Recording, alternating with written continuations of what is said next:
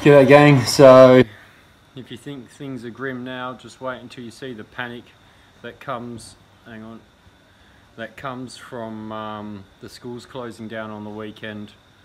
It's getting hectic out there. I had a woman push me at the um, at the meat shop today and I turned around and said, what are you doing? And she goes, oh sorry, it's, um, it's getting hectic. So the schools are almost definitely going to close down this weekend. I've already pulled my daughter out of school. I rang them this morning. I said to them um, she's not coming back and um, they were fine with it. I said, look, the schools are probably going to close this weekend anyway and, and the person from my daughter's school said, yeah, I think you're right. So they know. Schools are definitely closing.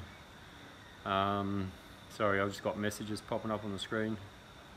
Um, so make whatever preparations you need to. Look for people in Perth if you're struggling to get meat at the big supermarkets. Um, go to your wholesalers. I've just been down to Malaga and got a heap of meat. Um, you've got the meat shed, you've got McLaughlin's, you've got Avon Valley. They still all have meat. They've got mince, um, they've got sausages, they've got chicken. Um, get in there. Um, I spoke to the guy at the meat shed for a good 10 minutes and um, you know, he said um, they'll still have beef. Um, they, he said they will not run out of beef, but chicken might be a bit hard because um, Ingham has told them to get stuff basically and said that they're only going to supply Coles and Woolies. So start stocking up where you can. Don't panic too much. Um, there's still plenty of wholesale butchers out there that have got a good supply line, that have got good meat coming in, and I think once everyone gets enough to sort of feel safe, it'll calm down again and the supply will go back to normal. So don't panic too much. You know, try and get as much as you can though. Get, um, you know, if you've got freezer space, get a month worth of meat. Um, you know, get, get, don't just stock up on baked beans. You're not going to be able to eat them for bloody, you know, a month or two on end. Um, you know, just get all the stuff that you normally get. Um, you know, I've still got a couple of bags of snakes alive for the kids. I've got, you know, um, chip and dips that they like. Um, up and goes are a good one. You don't need to refrigerate them. Um, you know, just just get all your normal stuff. Yeah, just get a bit extra. You're gonna go through it. You don't want to get it and then put it in a tub and then forget about it and let it go off. So try and get a shelf system set up where you can take from the front and replace at the back. So you're constantly rotating your stock. And um, it's stuff you're going to use anyway you know?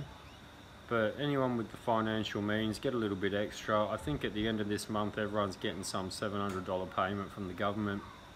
Highly doubt we will. We don't get any anything family tax benefit or anything like that. So that's just from not vaccinating. But look get what you can. stay calm you know, don't start turning on each other, whatever we do, okay?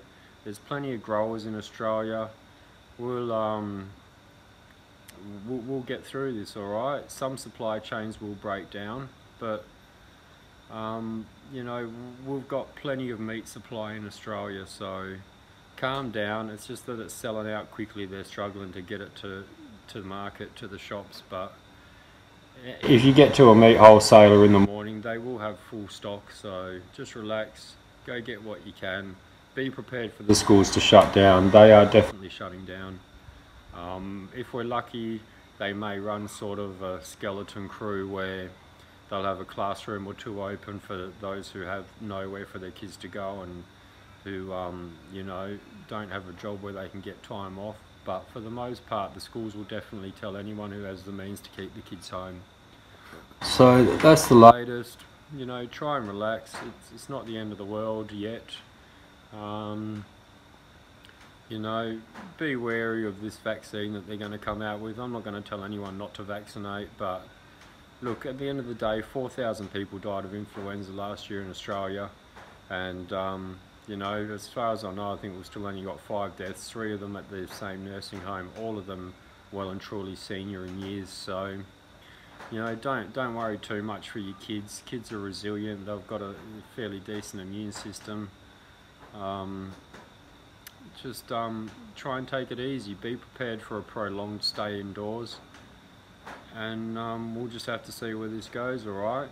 Anyone, when the school's shut down, anyone who can, go past your local school that your kids go to, have a look during the day and in the evening, and tell me if you see any crews there at all, please.